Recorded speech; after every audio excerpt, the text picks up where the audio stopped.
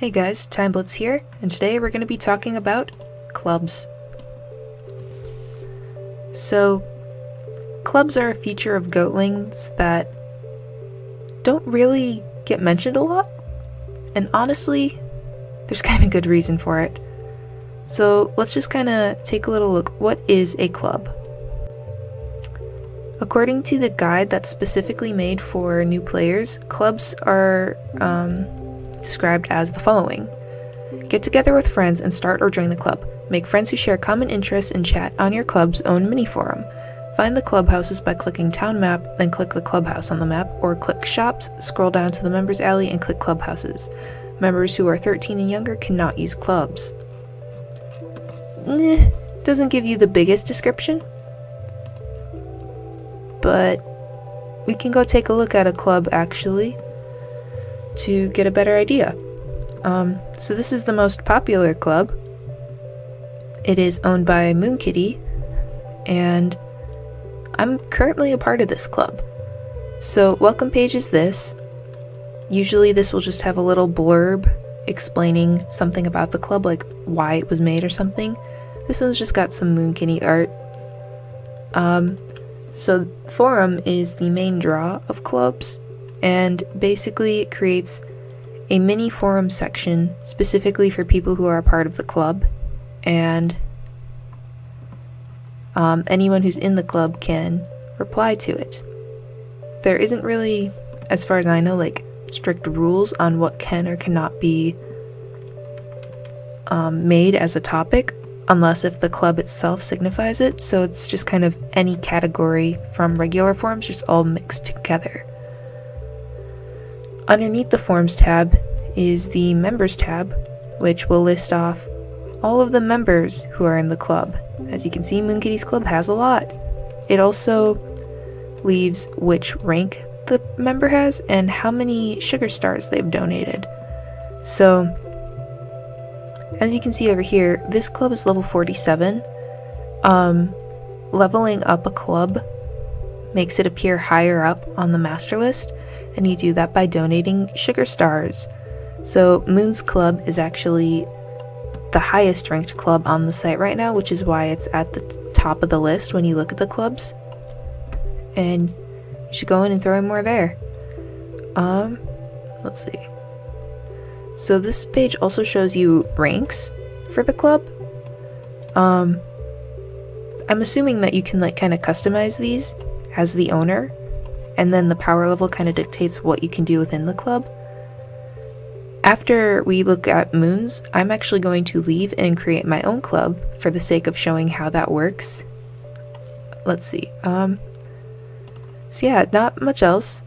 The member page, I don't really know what this is.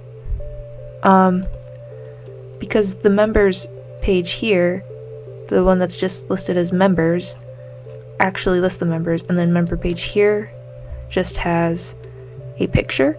So maybe it's just more space for admins to decorate. We'll figure that out. Um, then this admin button, of course, we don't have enough privileges. So I guess let's get to it. Let's leave the club. Goodbye. And now let's create a club. Alright, so when you go to create a club, um, this is what kind of shows up. You can name the club whatever you would like. Um, hmm, I don't know if you can rename it later or not. So I'm going to be naming it the Hardcore Apple Gang after the Hardcore Apple Gang, which is the name of my Discord for all of my fans and friends. For the club icon, I'm just going to put down the Time Guardian Hourglass. Hourglass is pretty fitting, as you know. So how this works, you just enter the name of any item apparently, and you can throw it in. It does specifically say that club icon can be changed at any time. So does this right here, which makes me believe that the name maybe can't be changed, but we don't know. Um, so club type, you have public and private. So public, anybody can join it. Private, invite only. Makes sense. And then welcome message. I'm assuming that we can also edit this later, so I'm just going to say, welcome to the gang. Let's create our club. Alright, here it is. Here's our, our lovely club. So welcome page is just this again. Uh, forum, we have none yet because it's a new one. Members, just shows me. Okay, this is also apparently where admins are able to send an invite to clubs. So you just type in the person's username. So you just type in the person's username here and then hit send. Uh, levels and ranks. Alright, this is this is fancy. So club levels are here, as usual. And then as a um, as a admin and the owner, I have the ability to create custom ranks and to change people's ranks, which is pretty cool. So I've typed in Ambu Black Ops here, which is the name of my mods on my Discord, and I'm just going to add that rank in. Alright, cool. So that exists now. That's awesome. And if you want to change the rank of someone, you can just throw it in there. It looks like you can also forcibly remove a member, so if they're causing trouble or something, you can just type their name in and kick them out. I don't know if being public or not will make it so that they can just automatically rejoin, but while we're here, let's try doing a 500 just to see how this goes. So, yep, just as a small increase for the next one. Alright. Cool. Levels and ranks, that's where we're at. Member page. Again, this has nothing on it, so it's time to take a look at the admin page and see what that looks like. Edit your club settings below. The welcome page can be seen by anyone, and member page can only be seen by club members. There we go. There's our explanation. Member page is secret information for anyone who joins your club. So it looks like you can actually change the name of your club, it just didn't specify that at the beginning. As well as here's where you can change your icon and the club type, and then enter in the text for the other two. At the very bottom, there is a button to delete the club if you no longer want it. And that's about it. That's about all you've really got going on for clubs. And I think it's kind of boring. Um, so let's head back to the master club list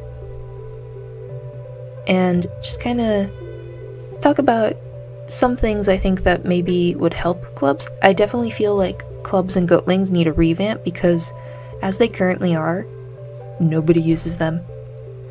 Like, most people are only joining a club because their friend made it or because they are a Moon Kitty fan. Um, there there are so many clubs too. Like if we go to last, things are loading a little bit slowly unfortunately, but um if we go to last, you can see just how many pages of clubs there are and like they don't do anything. Look, 167 pages of clubs. And like none of them none of them do stuff. So what I'm thinking is that there needs to be more of an incentive to joining a club and ranking it up. So clubs can kind of become something more like factions. And that phrase maybe seem a little too intense for goatlings, especially in the uh, context that's normally used in, you know, kind of like turf war stuff or whatever.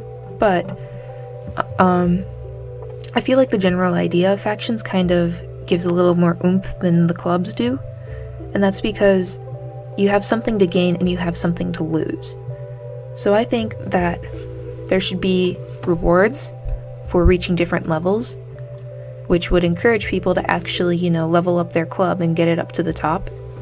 Um, I think that some notable things could be maybe um, if you're a part of a certain club that's like in the top 10 or something, you could get a little icon on your profile page.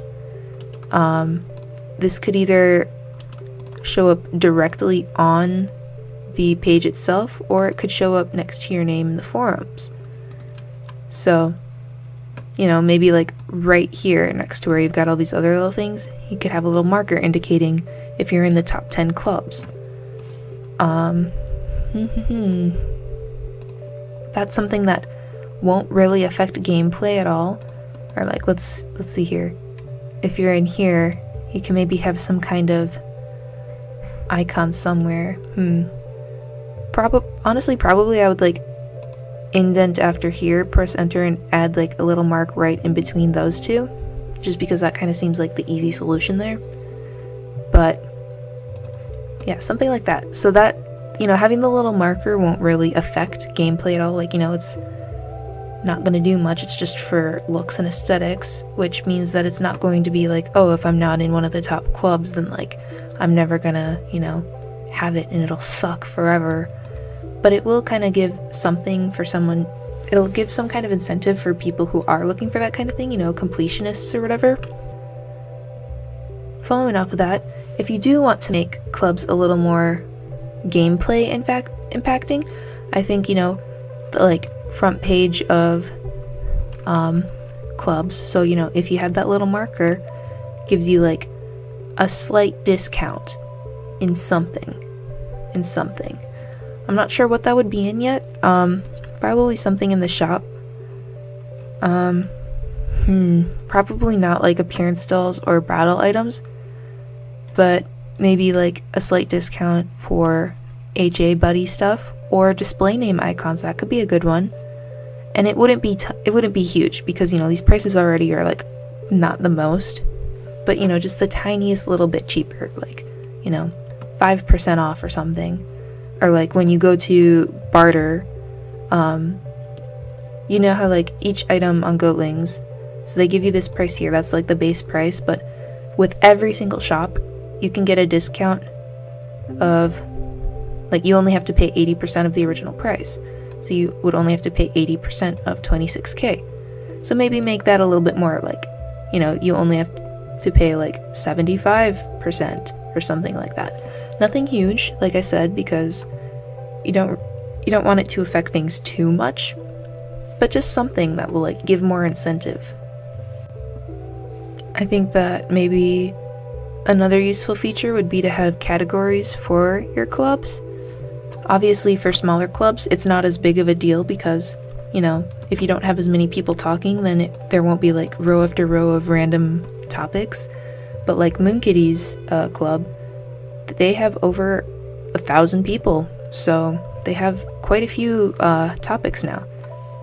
And I think maybe it could even be as like an upgrade for upgrading your club. You can um eventually like earn categories and like you don't have to use them but admins are able to use those categories to create headers for people to make um, topics under and like sort existing topics into maybe. You could also use clubs as a way to add in a new type of trophy. So if you go to your collection there's a trophies page and these trophies are mostly games, and then like the Spotlight Trophy and the Studio Blue Trophy, which exist.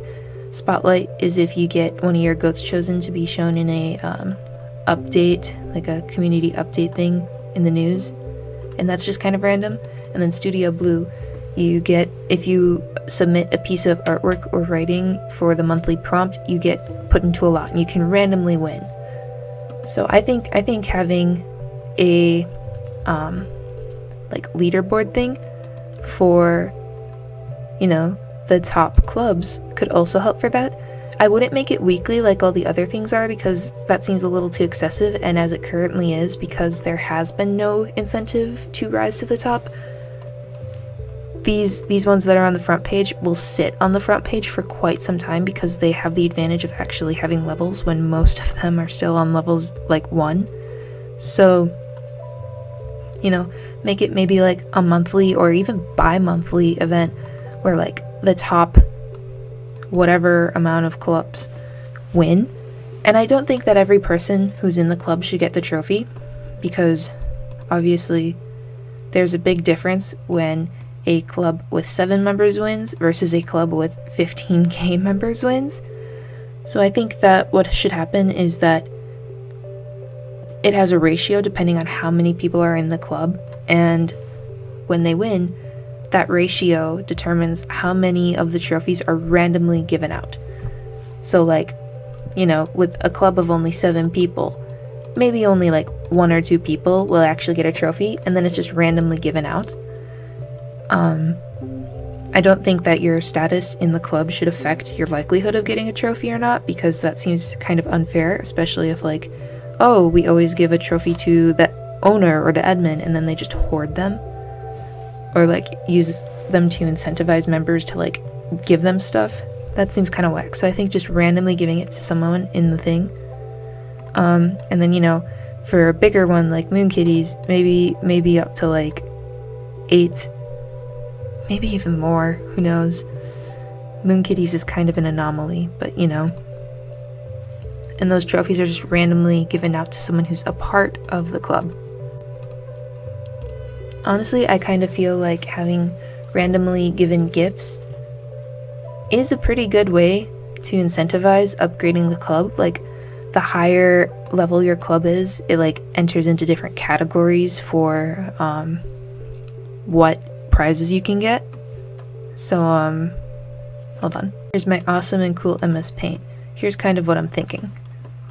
So, like, let's say these are different different tiers of items, and when you're within like a certain range here, you know, like rank 1 to 20 or whatever. And then one here, it's like 21 to 30, 30 to 45, 45 plus. And as, you know, time goes on, because people will become more incentivized to upgrade things, this can increase and change. The numbers can change. But basically, it creates a random pool of different items at different rarities. So like these are your commons down here. And then like regular and then uncommons and then rare items. And each month again if the server could like randomly roll like depending on how many people are in the um thing like how many people are in the club that can like decide the number of items rolled and then if you are within the 1 to 20 range, you'll only get items within here, but if you're 1 to 30, it can randomly give you from there, and like, um, so on and so forth. You know, I'm kind of thinking that like, commons obviously have a higher chance to be given to you, even, even once you've unlocked 45, but like, maybe, maybe after you get to like that cap of 45, it like increase, slowly increases your odds to get like, you know, the rare items so like your percentage goes up. And again, you know, it will randomly pick people to just give these items to who are members of the club. So it's not skewed so that only admins are getting these things to hands out because some admins will simply not hand them out. Anyways, that's all I can kind of think about right now for clubs. I definitely feel like clubs and goatlings need a big overhaul because they are just so underused and underdeveloped right now, like nobody touches them. Nobody even really talks about them. The only other person who I've ever even heard mention a club was Moon Kitty, and that was on like her very old Here's How You Play Goatlings video, where she just kind of briefly touched on it. So, you know, the things that I suggested may not be perfect. I don't know how easy or hard that would be to, you know, put into the game and, you know, how it would affect gameplay. Like, I have an idea, but I can never know for sure because, you know, I'm just a player, I'm not a developer. But that's kind of my thoughts on it. Um, yeah. Let me know what you think, and let me know if you have any other ideas for how clubs can become more relevant in Goatlings. It's kind of a fun feature, like, if if it was more important and more people used them, I think it could genuinely be pretty cool. It's just not being used very much right now. So yeah, Thank you all so much for watching. Thanks for listening to my rambles about goatlings even more. Timeblitz out. Oh yeah, heads up, if you would like to join my club, I am going to leave it public for all hardcore Apple Gang members. Welcome to the gang.